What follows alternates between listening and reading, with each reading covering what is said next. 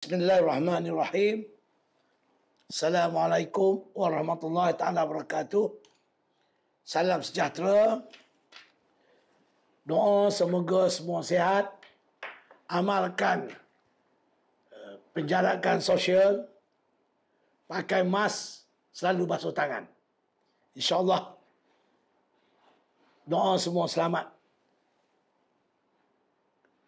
Pertamanya saya ucap terima kasih kepada pihak media sosial.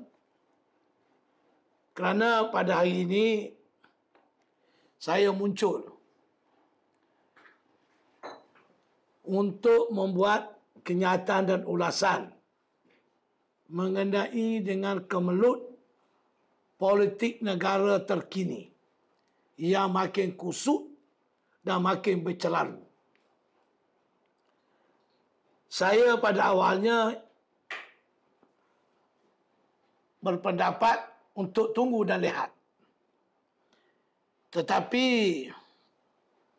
sejak kemarin, semalam, malah pagi ini, saya menerima banyak WhatsApp dan yang menelpon juga tidak sedikit sehingga ada yang telefon saya pukul 2 3 pagi. Waktu subuh pun ada. Bertanya kepada saya, Datuk, apa pandangan Datuk hal politik terkini? Amat kecoh ni. Kita dah pening rakyat ni. Boleh tak Datuk bagi sedikit pencerahan? Ha, itu mereka tanya saya. Dan antara soalan yang paling popular ialah mereka bertanya kepada saya, apa sebenarnya pandangan Datuk mengenai dengan hasil perjumpaan ataupun majlis mengadap Datuk Seri Anwar Ibrahim dengan yang di Putu Agong dua tiga hari yang lalu. Saya hanya nak fokus pada persoalan yang bertanya apakah benar Datuk Seri Anwar Ibrahim mempunyai angka yang cukup iaitu majoriti ahli parlimen menyokong beliau sebagai Perdana Menteri. Dan selepas majlis mengadap, ada kenyataan keluar daripada Istana Negara oleh Datuk Dijaya Pengelola Istana mengatakan uh, Datuk Seri Anwar tidak mengemukakan apa-apa dokumen. Manakala Datuk Seri Anwar Ibrahim pula buat sidang media selepas mengadap agung mengulangi bahawa beliau ada 120 lebih ahli parlimen menyokong beliau dan sekaligus beliau mengistiharkan kerajaan Tan Sri Mahyudin Yassin jatuh.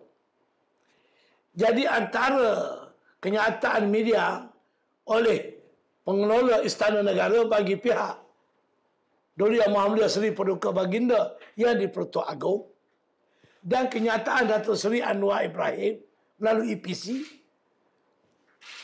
bercanggah dan inilah puncanya yang menjadi perdebatan hangat di kalangan rakyat dan yang membuatkan rakyat bertambah pening dan celaru. Pandangan saya yang cetek ni lah. Saya ni berani tampil membuat apa ni pencerahan sedikit berdasarkan pengalaman saya dalam perjuangan dah hampir 40 tahun saya dah menghadapi berbagai-bagai liku dalam perjuangan hidup. Dan juga saya pun dari segi ilmu adalah juga ijazah. Bukan ijazah beli ataupun ijazah tipu. Dan juga saya mewakili pertubuhan NGO yang ahlinya ratus ribu juga perkasa. Dan parti politik yang saya pimpin sekarang ni putera. Ahlinya dah puluh ribu. Jadi sebab itu saya tampil memberi pandangan atas kapasiti sebagai pemimpin NGO dan juga sebuah parti politik baru yang saya sifat berwibawa, berintegriti dan bermoral. Jadi ulasan saya mengenai dengan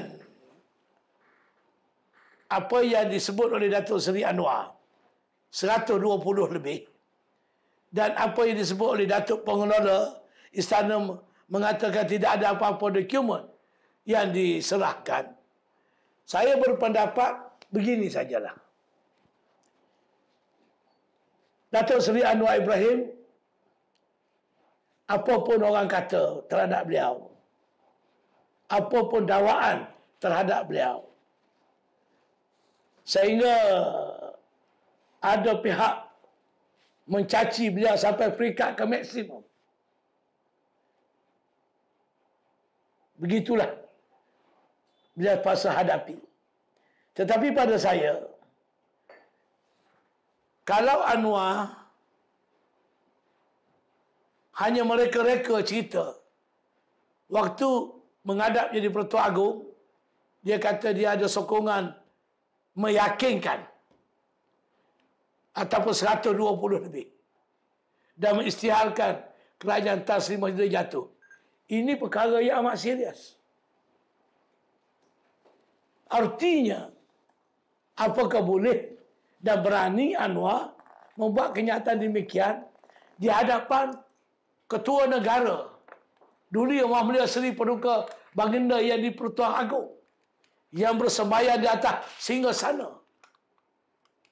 Dan ada hamba rakyat selepas menghadap boleh memanipulasi kenyataan dengan membuat dakwaan sebagaimana yang dibangkit oleh berbagai-bagai pihak melalui media sosial mengecam Anwar Ibrahim pada saya, kalau ianya tidak benar, tentu pihak istana negara akan mengambil tindakan terhadap Datuk Seri Anwar Ibrahim. Kerana kenyataan itu membawa implikasi yang besar kepada kestabilan politik negara dan juga dari segi akal budi kita Melayu bila datang bersembah dengan duli-duli yang membela raja-raja Melayu. Kita tidak boleh menokok tambah apa sahaja hasil perjumpaan di waktu kita menghadap ke bawah duli yang membela Seri Peruka Baginda yang di Pertu Agong. Itu respon saya yang pertama. Yang kedua, bagaimana kita nak menyelesaikan kemelut pada hari ini? Saya pada awal lagi membuat kenyataan. Sebelum ini lagi. Saya kata yang terbaik segerakan sidang parlimen khas dan bawa usul undi tidak percaya ataupun undi percaya kepada kerajaan yang ada sekarang di bawah Tan Sri Mahyudin Yassin. Buktikan cara terbuka dalam parlimen. Jangan bermain politik. Berselindung itu dan ini. Yang membuatkan rakyat bercelang. Segera ke sidang parlimen. Dan amat mengejutkan. Dua hari yang lalu. Yang berhormat mulia Tengku Razali Hamzah. Mendedah surat beliau. Kepada speaker Dewan Negara. Mengenai hasrat untuk bawa usul undi tidak percaya. Dan menerima jawapan daripada Speaker Dewan Negara Datuk Azhar Harun yang terkenal dulu peguam bijaksana yang liberal yang terbuka dan bila saya baca surat jawapan beliau kepada yang berhormat mulia Tengku Razali Hamzah saya rasa nak ketawa. Dan rasa marah pun ada. Sebab saya menjadi anggota ahli parlimen tiga pengat. Saya pun mahir dalam peraturan Dewan Negara ni. Peraturan mesyuarat Dewan Rakyat ni. Saya pun ada pengalaman. Betul lah. Sebarang usul, dia ada peraturan. Mesti didahulukan. Perkara-perkara yang berkaitan dengan kerajaan. Usul-usulan itu dikebawahkan. So, bila di bawah, bila sampai waktu, parlimen tamak sidang, ataupun tamak masa, usul tak dibahas. Itulah selalunya taktik parti pemerintah. Dulu, kini dah mungkin. Inilah caranya. Manakala, usul nak menentukan sokongan kepada seseorang pemimpin, terutama Perdana Menteri ini, usul penting. Usul yang ada kena-mena dengan national interest. Boleh didahulukan. Ini boleh dilakukan oleh discretion. Boleh bicara yang di Pertua Dewan Negara. Dia kecuali kalau dia di Pertua Dewan Negara ni, tak tahulah. Chicken ke apa ke Allah malam. Dan dalam jawapannya, dia minta yang berhormat Mulia Tengku Rozali berunding dengan yang berhormat Datuk Takayuddin yang menjaga urusan parlimen. Siapa? Apa ni yang berhormat Datuk Takayuddin ni? Betul dia menteri. Dia menjaga urusan parlimen. Tetapi peraturan mesyuarat mesti diterjemah oleh speaker Dewan Negara yang boleh melaksanakan budi bicaranya. Bukan Takayuddin. Apa kata Ghazali? Kena mengadap dan menyembah Takayuddin nak bawa usul. Memalukan. Maknanya, parlimen kita ni dah hilang wibawa kah? Dah hilang integriti. Dah tak ada martabat. Jadi bawa pergi ke parlimen. Maka usul ini tak dapat dibawa. Bila usul ini tak dapat dibawa, jadi macam mana kita nak menentu dan rakyat nak tahu secara terus betul ke tidak Tan Sri Mahyudin Yassin dapat mandat yang cukup daripada ahli parlimen ataupun Datuk Seri Anwar Ibrahim. Rakyat nak tahu. Bukan setakat melalui statut ceri election. Bukan setakat mengadap di istana. Rakyat nak tahu. Saya nak tahu. Jangan ada manipulasi oleh mana-mana pihak. Apa salahnya? Kalau semua gentleman. Just go to parliament. Bentang usul. Decide. Sesiapa yang menang. Siapa yang kalah. Terima dengan hati terbuka. Dan ini boleh membantu menenangkan keadaan, membantu kestabilan politik negara. Patutnya begitu. Okey. Jadi apa sudahnya sekali? Saya berpendapat ada dua jalan penyelesaian. Selain daripada usul diizinkan di parlimen secepat mungkin. Saya elok-eloknya sebelum belanjawan pada 6 November ini. Dibenarkan. Kalau tidak saya percaya belanjawan akan dibentang pada 6 November. Selepas itu ada perbahasan. Kemudian mengundi. Saya percaya kalau angka Anwar betul. Belanjawan negara Kerajaan Mahyudin tidak akan dilulus oleh Dewan Rakyat. So lebih baik kita selesai sekarang. Secara yang bertanggungjawab. Jadi apa kita nak buat? Ada cadangan, ada pihak telah mengutarakan apa kiranya demi kebaikan negara dan kesejahteraan rakyat diwujudkan kerajaan unity. Kerajaan perpaduan. So kalau kita nak wujudkan kerajaan perpaduan, semua pihak kena setuju. Dan siapakah calon yang boleh diterima oleh semua pihak untuk mengetuai kerajaan perpaduan? Mestilah calon yang tidak kontroversi. Calon yang boleh diterima oleh semua rakyat. Semua kaum. Melayu, Cina, India. Dan semua sekali. Dan berpengalaman. Ada integriti. Jadi saya tak nampak. Yang saya nampak seorang saja. Iaitu yang berhormat mulia Tengku Razali Hamzah. Yang ada syarat-syarat ini boleh mengetahui kerajaan perpaduan sebab rekod beliau seorang yang berpengalaman dan banyak jasa kepada negara, seorang tokoh yang berilmu dengan ijazah perekonomian dan pengalaman-pengalaman beliau dahulu zaman pentadbiran Tun Abdul Razak cukup banyak. Beliau tidak kontroversi. Kaki tangan kerajaan hormati beliau. Orang Melayu, orang Cina, India saya nampak memang selesa dengan Tengku Razali. So, he's the best person to be considered.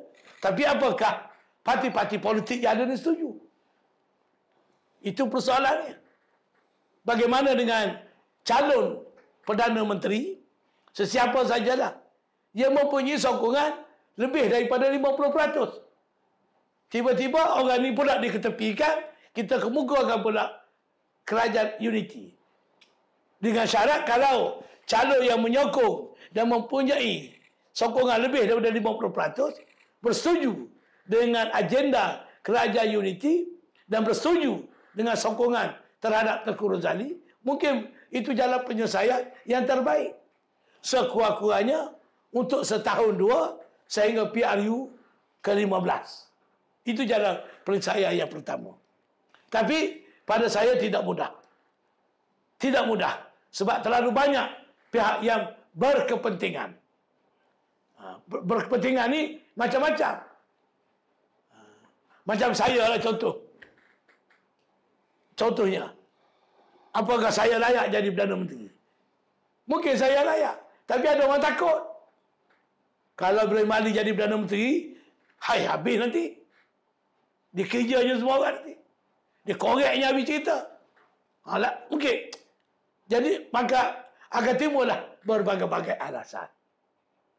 Jadi tidak mudah ke arah unity government dan satu-satunya calon yang ada ialah yang berhormat Mulia Tengku Razali Hamzah. Saya menyokong unity government dengan syarat calonnya sesuai seperti yang saya katakan tadi dan diterima oleh semua pihak. Tak guna unity government kalau selepas ditubuh juga timbul kekecohan timbul polemik, timbul perdebatan dan macam-macam dalam media sosial tidak menyelesaikan masalah.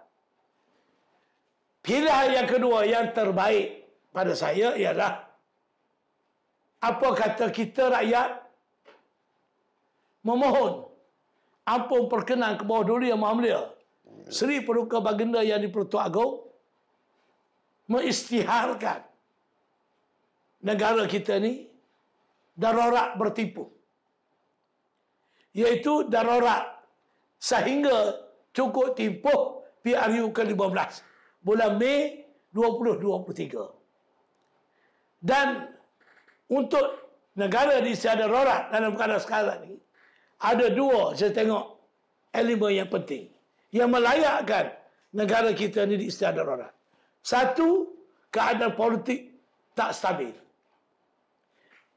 Tassim Mahyudin dikatakan hilang sokongan. Ada pihak kata dia ada lebih. Tapi selepas ini ada pula kurang. Lebih kurang, lebih kurang. Semuanya tak stabil sebab sokongan itu tidak solid betul-betul antara dua pihak. Dan ada ahli parlimen pula masalahnya nampak jelas di sekarang ini masing-masing nak jaga kuyuk nasi masing-masing.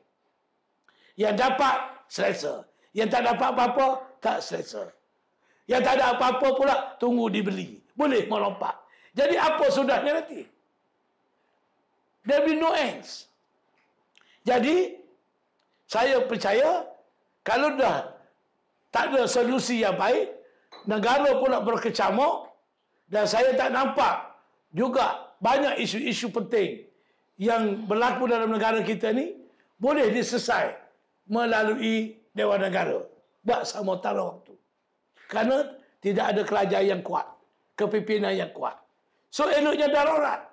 So kalau kita istihad darurat, yang Muhammad Seri Paduka Baginda Pertua Agong mempunyai kuasa melantik Mageran seperti 13 Mei. Pengarah Mageran dan ada jawatan kuasa Mageran. Mentadbir negara dalam masa 2 tahun. Dan masa timpuh 2 tahun Mageran ini, gunakan kesempatan sepenuhnya menyelesaikan masalah negara. Apa dia? Saya tengok Tambah-tambah lagi dalam musim Covid ini. Nak buat pilihan raya umum tak boleh. Mengacam keselamatan. Belanja apa banyak. Jadi kalau politik tak stabil, nak buat PRU tak boleh sebagai jalan penyelesaian kerana Covid. Jadi kalau darurat, jadi masa darurat inilah antara lain boleh kita sama-sama menangani isu pandemik COVID-19. Kedua, lain-lain isu yang penting berlaku dalam negara kita sekarang ini yang patut diselesaikan. Apa dia? Agenda ekonomi yang utama. Masalah pengangguran rakyat makin bertambah. Isu perkauman yang tak reda-reda dan sensitiviti agama. Ini semua berlaku kerana kerajaan dulu telah memasukkan akta keselamatan dalam negeri. Instrumen untuk menentukan kestabilan politik negara melalui undang-undang sudah tidak ada lagi. Sesudah ISA dimasukkan.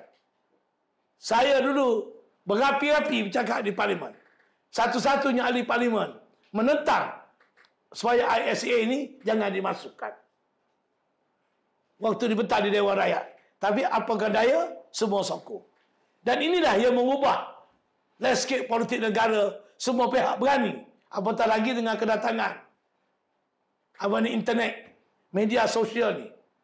Jadi ini kena diselesaikan. Kena selesai masalah kedudukan Islam, agama persekutuan. Supaya tidak lagi tercabar, dicalik, dihina dan sebagainya. Mesti selesai bagaimana kita nak tentukan kedudukan dulu-dulu yang maha mulia raja-raja Melayu. Terutamanya yang di Pulau Agung sebagai payung negara. Tidak boleh disentuh sesuka hati apatah lagi dihina oleh mana-mana pihak. Sebagaimana kita tengok undang-undang yang ada di negara Thailand. Bagaimana rakyat Thailand menghormati raja mereka.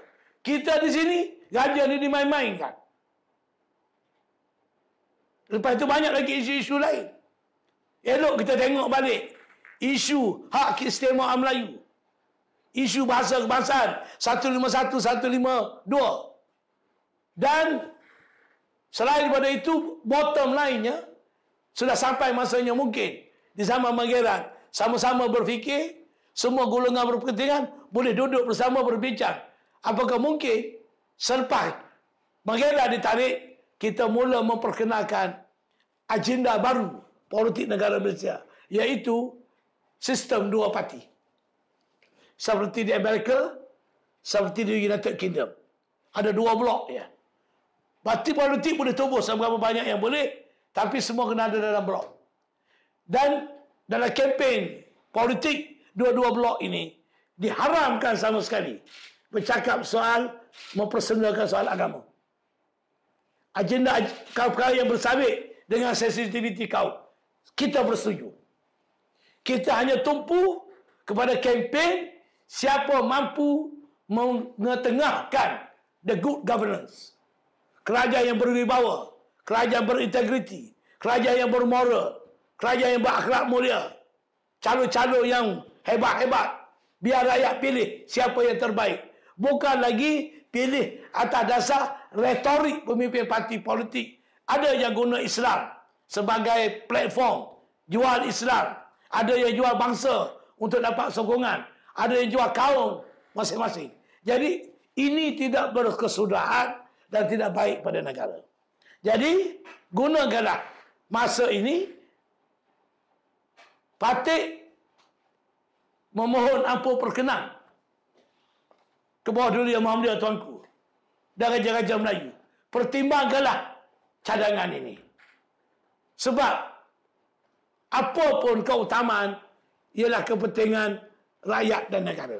Dan saya suka dedahkan hari ini sebenarnya hampir tiga bulan yang lalu saya dah menulis surat. Saya sudah angkat surat saya menyembah ampun perkenan tuanku saya dah hantar surat memohon Dunia Muhammad Seri Pertukat Baginda Pertukat Agong mengkaji, meneliti cadangan daripada saya bagi pihak Parti Putra dan saya beri alasan-alasan kenapa dalam suasana sekarang ini, kemelut politik yang tidak berkesudahan, ditambah dengan kedatangan COVID. Saya atas surat ini pun, saya rasa apabila berlaku PKP, minggu yang pertama. Iaitu, memohon ampun perkenan tuanku, mempertimbangkan cadangan saya bagi pihak parti putera agar diistiharkan darurat. Gantung parlimen. Dua tahun sama sikit duit pun. Daripada gaji ratus-ratus ribu. Puluh-puluh ribu ni. Gaji terima puluh ribu. Ada yang seratus ribu lebih. Kerjanya bergaduh. Kerjanya maki hamun. Rakyat macam mana? Nak cari bantuan sikit pun tak boleh. Tapi ada pemimpin politik, ahli parlimen, ahli dewan negeri, dulu pegang menteri besar, sekarang jadi menteri balik, pecen dapat, gaji dapat, elang ahli parlimen dapat, campur-campur seratus ribu lebih seorang-seorang. Tapi negara dalam keadaan kelagabut. Apa ni? Tak malu ke kepada rakyat? Sebab itu, di Latin Amerika baru ni, sidang parlimen di salah sebuah negara. Tak siap saya di Columbia ke mana. Ahli parlimen buka baju dengan seluar. Naked. Dan dia kata, inilah apa yang berlaku di luar Dewan Rakyat. Rakyat yang miskin. Rakyat yang papa, minta sedekah, tak ada pakaian. Apa kita tak malu? Saya rasa malu. Sebab itu saya terpanggil bercakap apa yang saya sebut sebentar tadi. Dan meminta rakyat memberi sokongan. Saya tahulah ramai orang tak suka juga saya. Eh, macam-macam. Orang duduk kecam saya. Kecaman saya ni bukan kerana saya rasuah. Kecaman terhadap saya bukan kerana kimoral. Semua ni tak berbangkit. Kecaman kepada saya ialah kerana saya datang. Kedua, mungkin ada orang deki dengan saya. Tapi saya dah ulang tadi. Saya ada ilmu juga sikit. Ada ijazah. Berpengalaman. ISA dua kali. Turun naik mahkamah pun banyak kali bergolongan dengan perjuangan tidak sedikit. So I got sedikit sebanyak otoriti lah. Saya bukan bercakap atas kapasiti saya, kapasiti saya sebagai seorang individu. Ha. Ada orang bercakap atas nama individu ya. Orang main lagi. Saya dah sebut tadi. Platform saya, asas saya dan saya bercakap memang bertanggungjawab.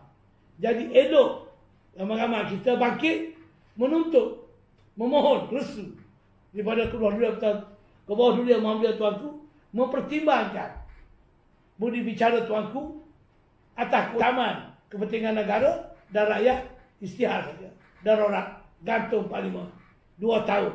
Sehingga cukup tempoh PRU ke-13 eh, PRU ke-15 iaitu bulan Mei 2023 reda semua.